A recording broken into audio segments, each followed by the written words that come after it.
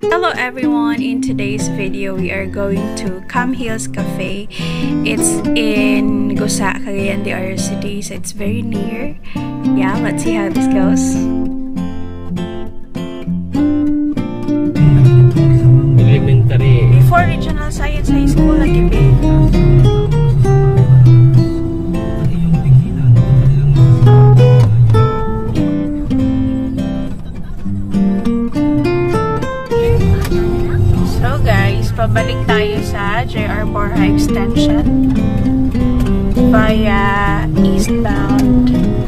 ba?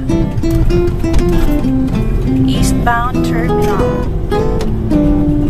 In 300 meters, turn right toward JR Borja Extension, Justiniano R. Borja Extension.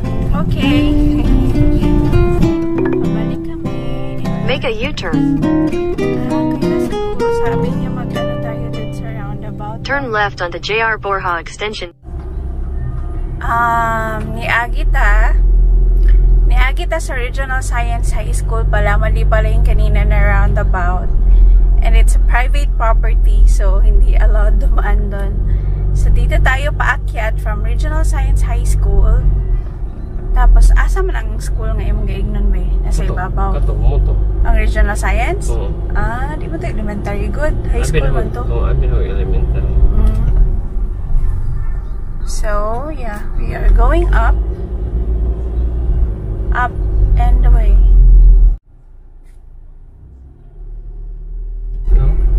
Ngayon pa guys, medyo maliit yung daan at maraming aso. Kailangan nyo mag-ingat. Oops! Tapos pakuan siya pa. Ang tawag dun ba? Kanang sobrang... Ang tawag din sa sobrang liko. Curve. Super curve. Super curve po yung daan. And residential yung madadaanan nyo guys.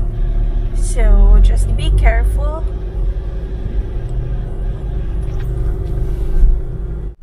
So, the rough road, sobrang lalaki ng mga stones. Mga dagko ang mga bato guys. So, yung mga lowered na cars, hindi pwede. Going up. Gamay lang ang rough road. Semento na pod. Ooh,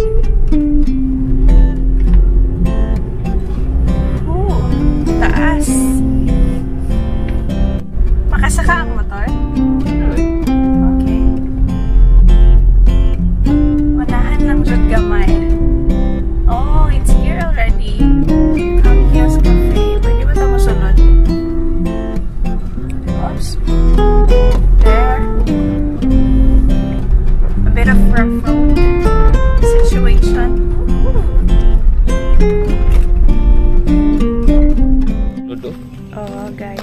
Guys.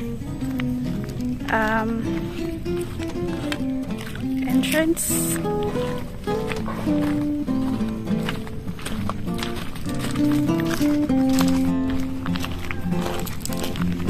Camp Hills Cafe. Oh, okay. Or exit pala yon.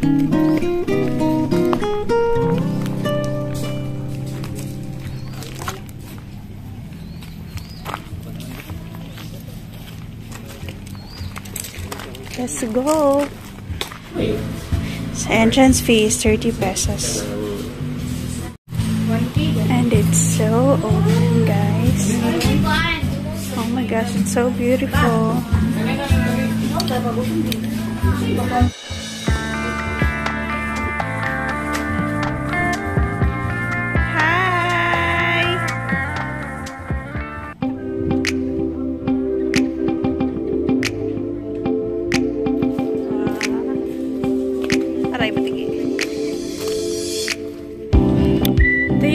Dito. Ayun, nagpipicture sila.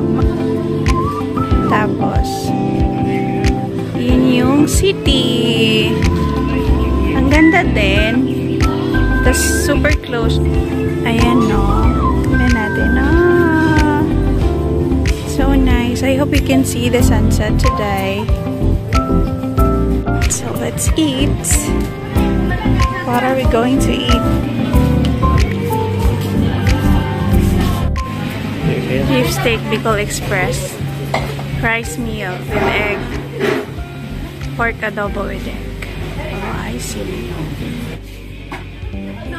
Iced coffee.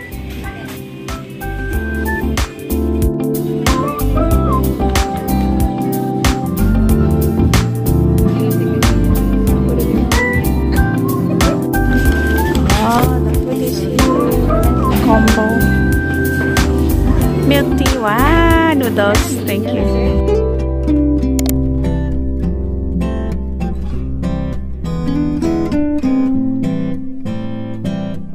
So guys, the sunset is here na.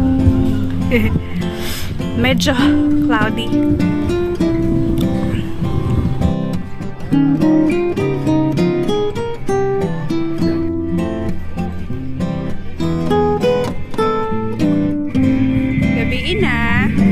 Po mo ulit. Very nice. Nagsugod na og sigang mga suga.